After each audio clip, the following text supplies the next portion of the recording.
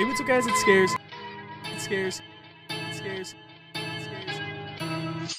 I am the one, the way your son don't need a to get respect up on the street. Under the sun, the sun will pop the clock to feed them. What is up, DramaAlert Nation? I'm your host, Killer Keemstar.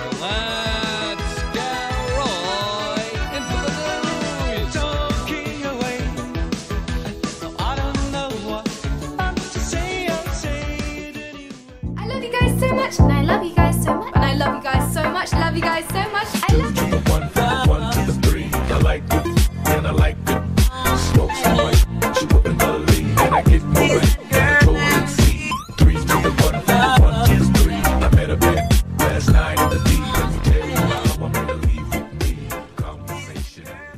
According to all known laws of aviation, there is no way that a bee should be able to fly. Its wings are too small to get its fat little body off the ground.